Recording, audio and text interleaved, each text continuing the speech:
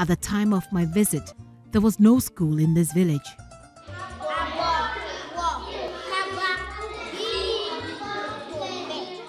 The village has a school now, but the school is an uncompleted building accommodating about three different classes concurrently. As the children grow and the number of pupils here increase, they have to move from kindergarten to class 1. The first batch of pupils is now in class 2.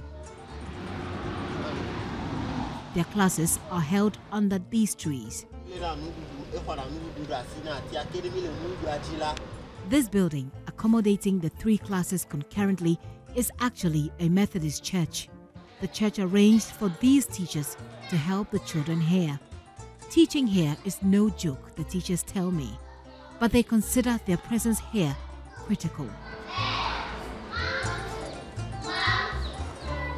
Well, because the children are in the community just like that. And then the way uh, the schools nearby are quite far. So we decided to come together. Teaching here is very challenging. We are coping because we don't have the facilities. We have here four classes.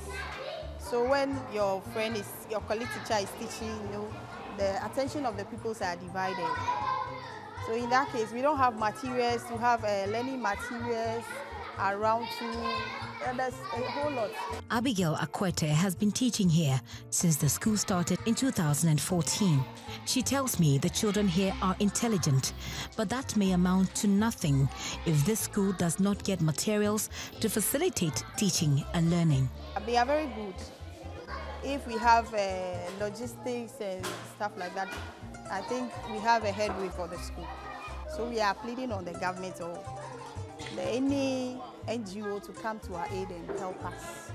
I was told a sole benefactor came in to help put up a classroom block here, but they tell me he was involved in an accident, so the project has stalled. We are having a school named Methodist Primary Kindergarten School. But this school have uh, from kindergarten to primary two, and we are having six teachers teaching at the field.